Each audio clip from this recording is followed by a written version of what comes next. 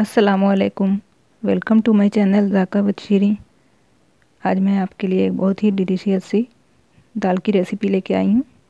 ये शाही माश की दाल है। तो आइए इसे बनाना शुरू करते हैं। मैंने वन कप माश की दाल लिया है। वन टेबल स्पून अदरक का पेस्ट वन टेबल स्पून लहसुन का पेस्ट एक मीडियम साइज़ का प्याज लिया है। इसका भी मैंने पेस्ट बना लिया है। एक मीडियम साइज़ का टमाटर, इसे भी मैंने बारीक पेस्ट बना लिया है। वन टीस्पून कश्मीरी लाल मिर्च हाफ़ टी स्पून हल्दी powder half teaspoon garam masala powder one teaspoon धनिया पाउडर हाफ़ टी स्पून ज़ीरा पाउडर। नमक टेस्ट के हिसाब से लें आप।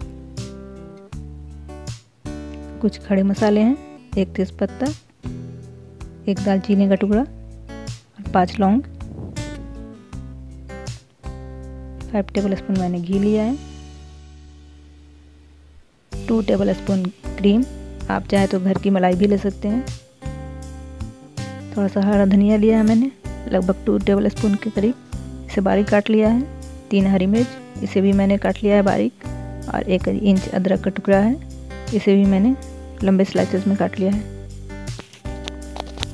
मैंने चूल्हे पे पैन रख दिया है।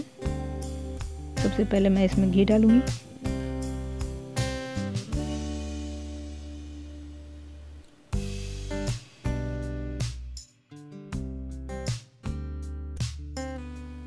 घी गर्म हो। चुका है अब सारे खड़े मसाले।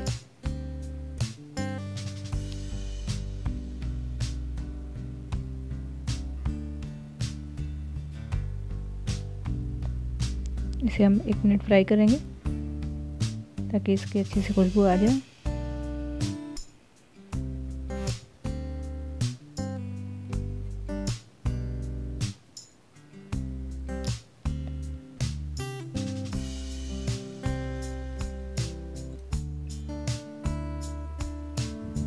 अब हम इसमें प्याज का पेस्ट ऐड करेंगे।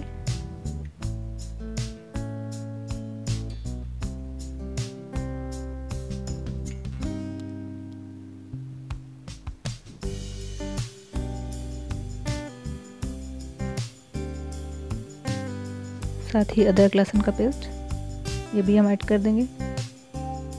और इसे दो से तीन मिनट तक अच्छी तरह से भूनेंगे हम। ताकि इसका कच्चापन निकल जाए।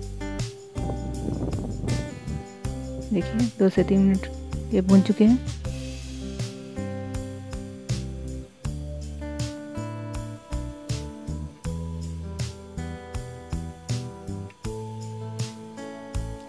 साथ ही मैं इसमें सारे सूखे मसाले भी ऐड कर दूँगी। और इसे भी अच्छी तरह से तीन से चार मिनट भुनेंगे हम। चूल्हे का फ्लेम हम मीडियम रखेंगे।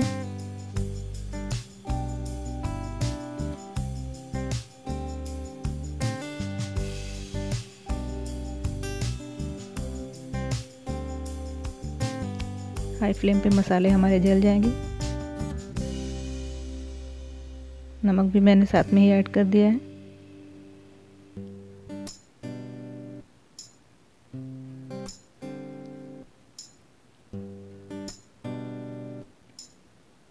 देखिए मसाला हमारा भुन चुका है। अब मैं इसमें टमाटर का पेस्ट भी ऐड कर दूँगी। और इसे भी हम अच्छी तरह से पकाएँगे।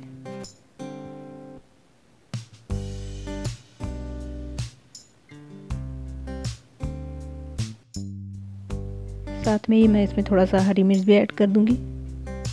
हरी मिर्च मैंने आधा ही डाला है। आधा हम बाद में यूज़ करेंगे।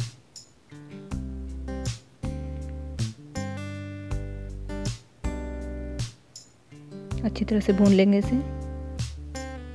देखिए मसाला अच्छी तरह से भुन चुका है। टमाटर भी अच्छी तरह से पक चुका है।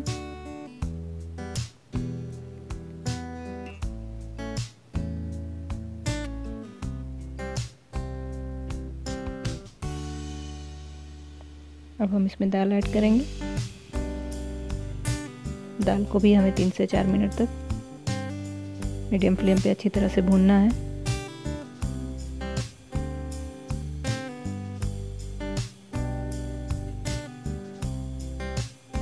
दाल को अच्छी तरह से भूनेंगे।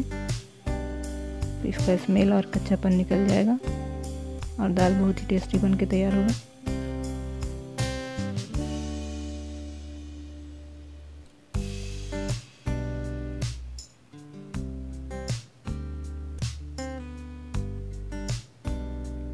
देखिए, अच्छी तरह से लगातार चलाते हुए भूनेंगे इसे। चूल्हे का फ्लेम अभी मैंने हाई कर दिया है।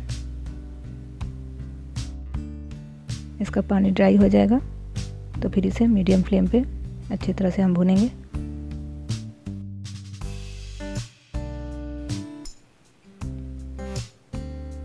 देखिए, दाल हमारा भून चुका है अच्छी तरह से।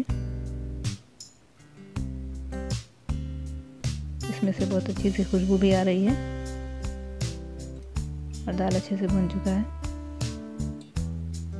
अब हम इसमें पानी ऐड करेंगे।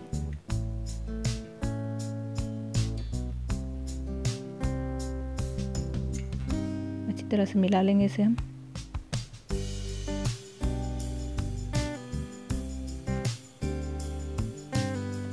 मैंने वन एंड हाफ़ कप पानी इसमें ऐड किया है। और इसे हाई फ्लेम पे हम पकने देंगे। जब इसमें एक उबाल आ जाएगा, चूल्हे का फ्लेम हम मीडियम टू लो कर देंगे। और इसे हम तब तक पकाएँगे जब तक दाल हमारा अच्छे से गल नहीं जाता। हम एक बार दाल को चेक कर लेते हैं। इसका पानी ड्राई होने लगा है।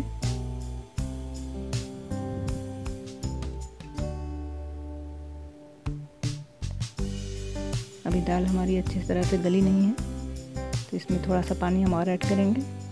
मैंने हाफ़ कप पानी और ऐड किया, और इसे हम तब तक पकाएँगे, जब तक दाल अच्छी तरह से गल नहीं जाता। मैं इस दाल को पैन में बना रही हूँ। क्योंकि धीमी आँच पे ये बनता है तो इसका टेस्ट ज़्यादा अच्छा होता है। आप चाहें तो इसे प्रेशर कुकर में भी बना सकते हैं।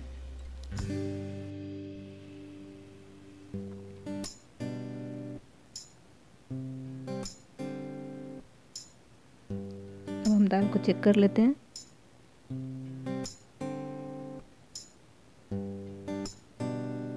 दाल अब अच्छी तरह से गल चुका है।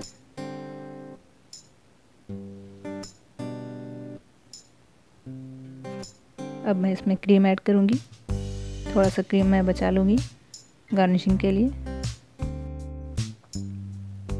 अच्छी तरह से मिक्स कर देंगे इसे।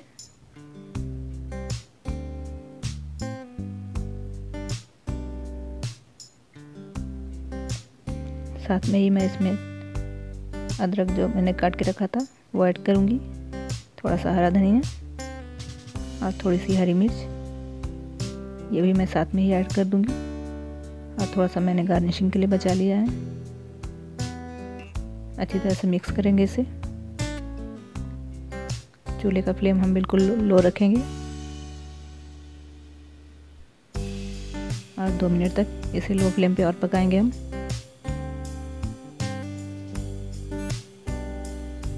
देखिए दाल बिल्कुल रेडी है। बहुत ही मज़ेदार दाल बन के तैयार हुई है। अब इसे ज़रूर ट्राई करें।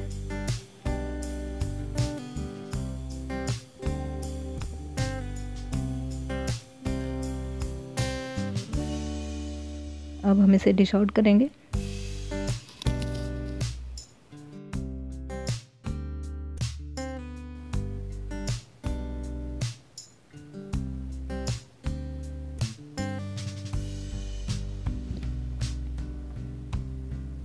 अब इसे हम गार्निश कर लेते हैं। सबसे पहले हम क्रीम से गार्निशिंग करेंगे इसकी।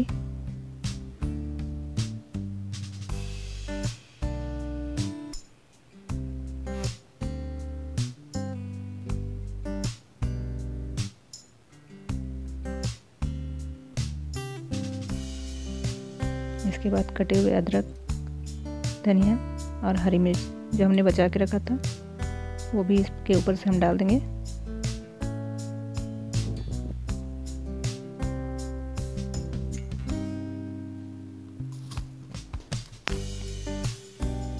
बहुत ही मज़ेदार सी हमारी ये शाही माश की दाल बन के तैयार हुई है। आप इसे ज़रूर ट्राई करें।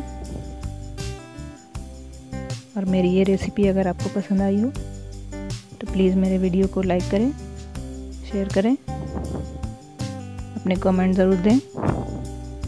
और अगर आपने मेरे चैनल को सब्सक्राइब नहीं किया है तो प्लीज़ मेरे चैनल को सब्सक्राइब करें, ताकि मेरे नए वीडियो की नोटिफिकेशन आपको मिलती रहे। Thank you